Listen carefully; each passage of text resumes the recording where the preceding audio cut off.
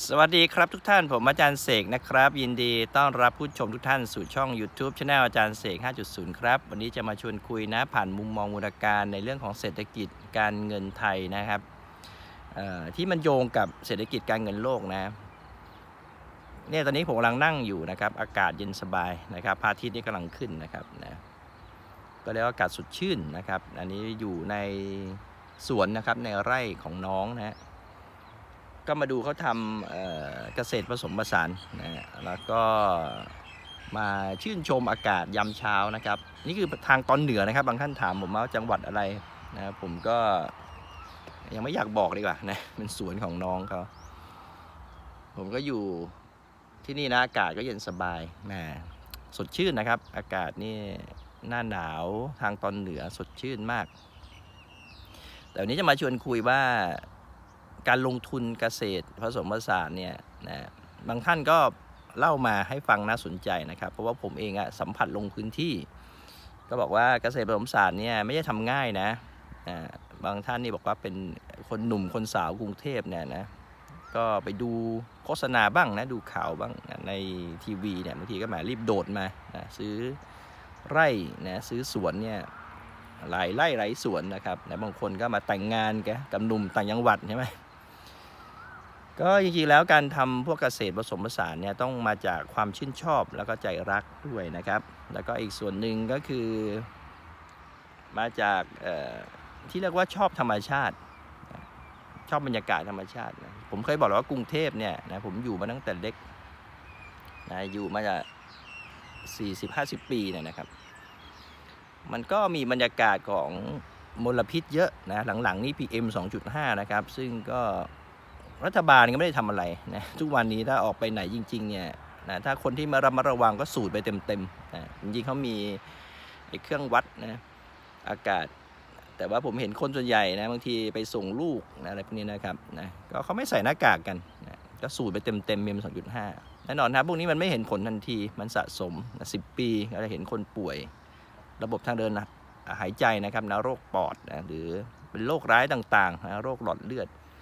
ราะว่ามันเป็นฝุ่นที่เล็กมาก มันเข้าไปร่างกายแล้วมันออกไม่ได้มันสะสมนะมลพิษทางเสียงนะฝุ่นเสียงอากาศนะครับนะ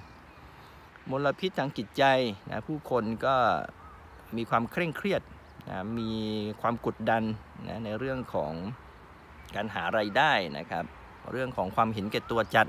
นะผู้คนก็ขาดศีลธรรมนะเสื่อมลงเรื่อยๆนะมีความ ผิดศีลนะหลอกลวงล่อลวงนะเราสังเกตเนี้ยข่าวสารเนี่ยนะพวก 18 มงกุฎนะยิ่งเศรษฐกิจแบบนี้นะครับไม่ดีเนี่ยก็จะมาหลอกลวงกันนะแต่ว่าถ้าบางคนเนี่ยหมาถึงขนาดแบบเบื่อจัดจัดนะเบื่อเมืองหลวงนะเบื่อกรุงเทพจัดจัดบางคนก็อาจจะกระโจนเข้าใส่นะต่างจังหวัดนะครับถึงขนาดโอ้โหลาวจากงานนะย้ายมาเลยซึ่งผมแนะนำว่าอย่าเพิ่งทำแบบนั้นนะครับนะ ว่าผมเองเนี่ยลงมาคุกคลีนะมีบ้านอยู่ต่างจังหวัดนะครับ ก็เดินทางไปมานะกรุงเทพต่างจังหวัด อยู่บ่อยเหมือนกันนะครับ ก็จะมองเห็นว่าจริง ๆ แล้ววิธีการถูกต้องเนี่ยก็คือเราควรจะกระจายความเสี่ยงนะไม่ได้บอกว่า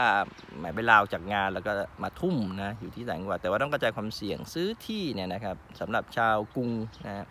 ชาวเมืองเนี่ยซื้อที่ประมาณหนึ่งถึงสองไร่นะเอามากสุดอะไม่ไม่เกินห้าไร่นะลองทำดูก่อนนะครับนะท่านจะทำโดยการที่ลงมือทำเองนะหรือว่าทำโดยการที่จ้างนะคนแรงงานมาทำนะ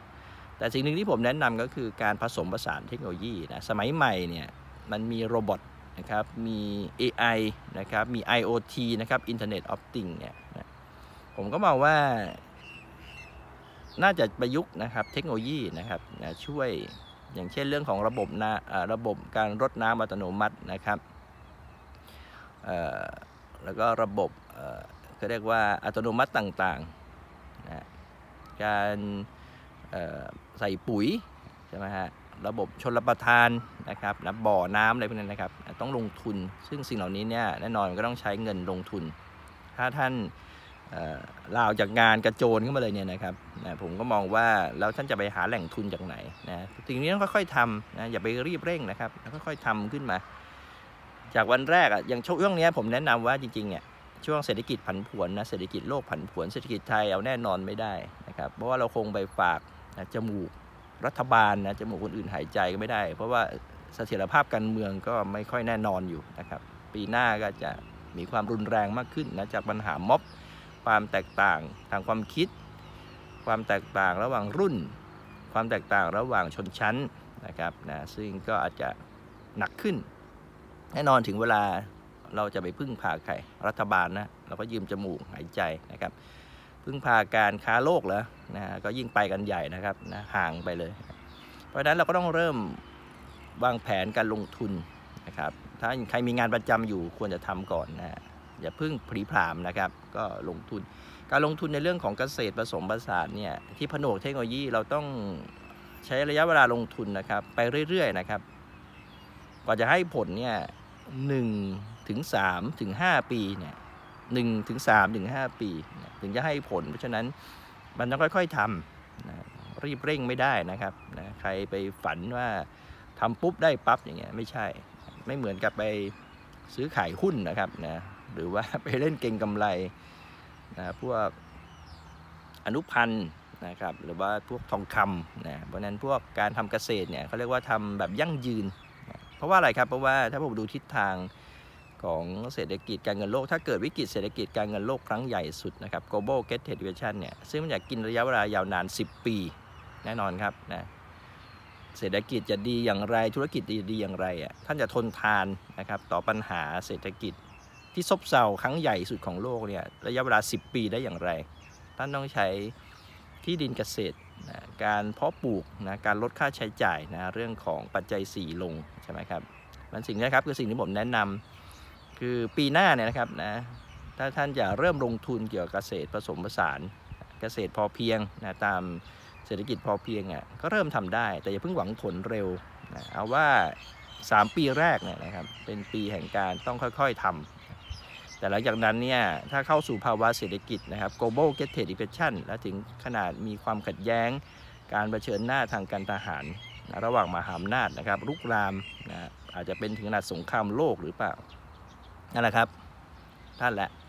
เรียกว่ามีการกระจายความเสี่ยงไว้ครบถ้วนบริบูรณ์นะครับใครจะบอกท่านว่ามองโลกในแง่ร้ายนะ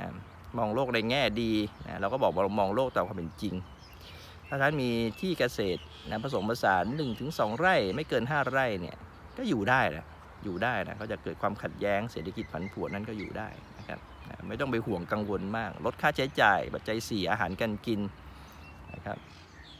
อะไรมาเล่าสู่กันฟังนะครับ แต่ถ้าคนเมืองเนี่ยควรจะใช้เกษตรนะครับผสมผสานนะผนวกกับเทคโนโลยีสมัยใหม่นะครับพวกบรรดาโรบอทนะหรือว่า Internet of Things นะที่สามารถควบคุมระบบอัตโนมัติได้ นะครับมาเล่าสู่กันฟังนะครับนะให้ได้แนวคิดให้ได้ข้อคิด เพราะว่าผมเข้าใจนะบางท่านนี่หลายท่านอยู่ในเมืองเนี่ยนั่นก็จะเบื่อนะสภาพเมืองเบื่อมลพิษ ทางฝุ่น ทางอากาศ ทางเสียง ทางจิตใจมนุษย์ความเห็นแก่ตัวจัด การหลอกลวง การผิดศีลธรรมแน่นอนฮะโลกนี้มันเต็มไปด้วยโลกของความหลงโลกของปุถุชนนะ ท่านจะไปหวังความสมบูรณ์แบบไม่ได้ แต่ท่านก็ค่อยๆวางแผนนะครับนะออกมาทำสิ่งต่างๆนะภายนอกนะครับเตรียมตัวไว้นะตามที่ผมคาดการณ์นะก็เศรษฐกิจชะลอตัวถึงอาจถดถอยอาจจะเริ่มในปีหน้าหรือปีต่อๆไปนะครับ เพราะว่าปัญหาพื้นฐานยังไม่รับการแก้ไขนะครับโอเคนะครับ เพราะฉะนั้นมาเล่าสู่กันฟังเราด้านเตรียมถึงนี้อ๋อนอกจากจะเรื่องของการชะลอตัวแล้วเนี่ยนะ ปัญหาผู้สูงวัยนะครับนะที่จะตามมาในอีก 10 15 20 ปีข้างหน้านะครับถ้าท่านไม่เตรียมตัวไว้ดีเนี่ยท่านก็จะแก่ก่อนรวยนะครับ หรือเราจะบอกว่า จะเป็นแก่อนาถาก็ได้นะถ้าท่านไม่เตรียมตัวนะบริหารจัดการให้ดีนะครับนะมาเล่าสู่กันฟังนะครับ เป็นวิธีการหนึ่งในการกระจายความเสี่ยงในการลงทุนโอเคนะครับ ใครชอบฝากไลค์แชร์สนใจก็สามารถสมัครติดตามช่อง YouTube c h anel อาจารย์เสก 5.0 5.1 นะครับ ต้องขอขอบคุณทุกไลค์ทุกแชร์ทุกกดติดตามและสู่ช่องอาจารย์เสกเสมอมานะครับ ก็ในวาระปีใหม่ก็ขอทุกท่านมีความสุขสุขภาพร่างกายแข็งแรงนะครับคิดสิ่งใดสมความปรารถนานะทั้งตนเองและครอบครัวนะครับ โอเค เจอกันใหม่คลิปหน้า สวัสดีครับ